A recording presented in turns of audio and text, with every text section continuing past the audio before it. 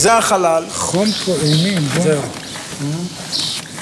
לנקות את זה. כן, לנקות את זה. אם אתה רוצה, אפשר לנסות לשים פה את, ה...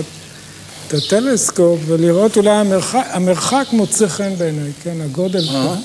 אבל... מה, הבאת אה, טלסקופ? קח את זה קצת, אה, קצת ימינה, טוב.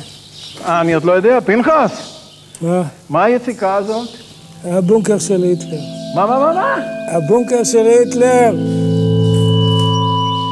זה תראה, הבונקר לא של רואים היטלר. כלום, אני לא מבין מה אבל הולך. מכסים אותו עכשיו. אז אני הולך לעשות הפתעה לעם הגרמני, אני הולך להביא את הבונקר הזה ושותל אותו שם. אתה מבין? רגע, רגע. אנחנו, רגע, רגע, רגע, אין, אין. טעם לעשות את זה פה. מה, אתה חושב שאני ראיתי הרבה. פעמים את הבונקר של היטלר? תצביע, איפה היה החדר של לבה בראון? הנה, פה. אה? זה החדר של היטלר.